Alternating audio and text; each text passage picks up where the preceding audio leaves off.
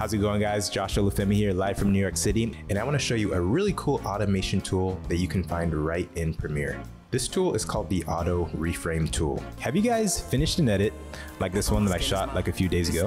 And let's say your client's really happy, but they also want a bunch of social media edits like maybe a vertical version for an IG story or a square version for an IG post. Here's the thing, if you shot your original footage landscape, it's going to take some readjusting, aka some keyframing of the position to keep the main subject in the middle of the frame in this new heavily cropped vertical or square format.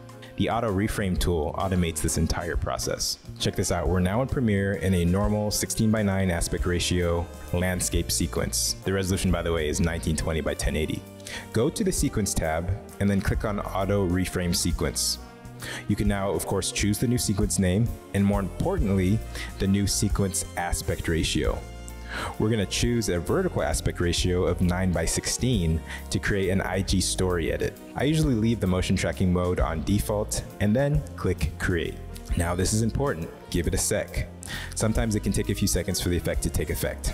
There, here we go. Let's play through it now and see how we did. Basically, Premiere is trying to identify the main subject in the frame and is attempting to keep it centered by applying position keyframes to the footage. The auto reframing feature is available in the latest version of Premiere Pro, so please make sure to give it a try. Thanks so much for watching fam, and please make sure to like this video and subscribe.